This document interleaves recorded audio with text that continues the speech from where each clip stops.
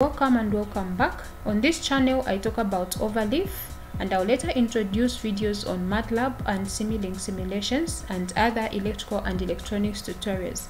If that seems interesting to you kindly consider subscribing to my channel. Let's get into today's video. In today's video we are going to learn how to include figures in your latex or overleaf project side by side as shown here so on how to include the figures in your overleaf for latex project make sure you watch the first video that i uploaded. I'm going to leave the link in the description box. So remember to watch up to the end because how to add figures in your latex or overleaf is right at the end of the video. So let's get into this video. In order to put this side by side what you need is uh, to begin figure and end figure with a star here so you need an asterisk here at begin figure and at end figure.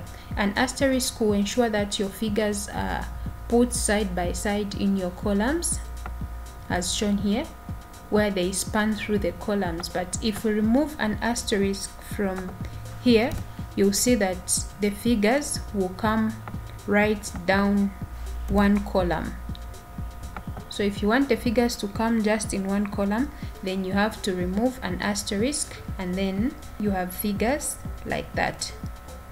But if you want them to span through the columns make sure that you put an asterisk. So we do like that. And then when we compile this is what you get side by side figures.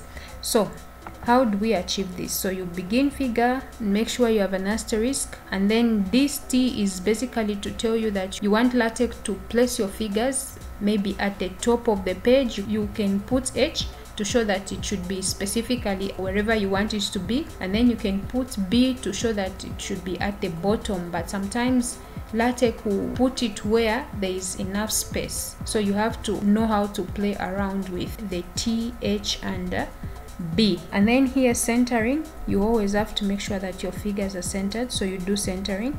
Then now these that we have are sub figures because we have figure 1 so these are sub figures of figure 1 so you say begin sub figure and then this is 49% of the text width so this is 49% of the text width. You can if you put 50% of the text width the figure will be too big and maybe they will come out disorganized. So 40 49% 48% is at least ideal. In the sub figure again you make sure that your sub figure is centered so you do centering. And then now the command that allows you to include your figure is include graphics. In the square brackets you put width equal to text width. And then this now is the figure that we've uploaded. So this is the figure one that we want to include. Then the caption this is why you write your caption. If you just want it to be figure a as it is then you leave it just like that. And then you label so this i've labeled it as my figure 8 in whichever way you remember. So you give it a label and then end sub figure. Then here h fill just allows you to include space in between these two figures. Because if we remove this let's try we put a percentage we hide this and then when we compile you see that these are closer to each other. So if we include h fill you see that you increase the space in between the two figures. So you put h fill to increase the space as you can see there so you do the same to figure B, figure C and figure D. You write sub figures and label. This is the main caption where you write now figure 1 and then this is the main label for figure 1 where I've said filters so you can name it as you wish. And then here you have end figure with an asterisk like that. So when we compile this is what we get there sub figures. So what if instead of having figure A B, C, and D. Instead of having sub figures, we want these figures to have their independent caption where you have figure 1, figure 2, figure 3, figure 4. What you need to do now is where you have sub figure, you replace with mini page. So as it is here, you see, it's the same things. All you do is replace with mini page everywhere and then when you compile that what you get is the independent figures that are side by side. So we had figure one there on top so we had this figure one with sub figures and then we have now figure two figure three figure four and figure five this is just dependent on how you want your figures to be displayed. And as we said earlier if you want them to come in one column remove an asterisk and they'll be in one column. So now what if we want all these four to span through in the two columns? So what you need to do is reduce the percentage here. So you can have this. So we can roughly say like maybe 24 percent of the text width so everywhere where we have 49 percent we reduce to 24 percent.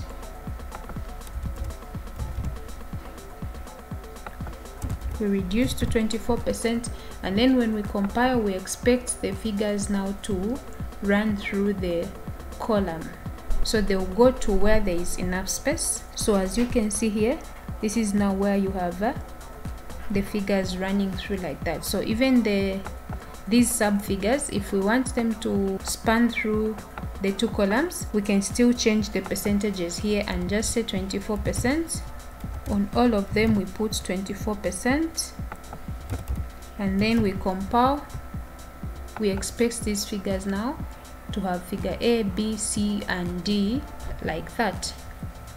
Let's go back to the way they were side by side. So we just undo. Okay and then we recompile there and then we have our figures there. And uh, here we are. So these are the sub figures of figure 1 and where you need to use sub figures and then for the for individual figures but side by side you use mini page. One thing you need to remember is that the aspect ratio for these figures should be the same. Otherwise they'll have different heights and they won't be aligned neatly as seen in the figures here if you're not sure on how to go about adjusting the aspect ratio of your figures you can leave a comment in the comment section and i can do a video on that. So this is all for today's video. Thank you for watching. For more videos like this just remember to subscribe and click the notification bell so that you are notified immediately i upload a new video. Bye bye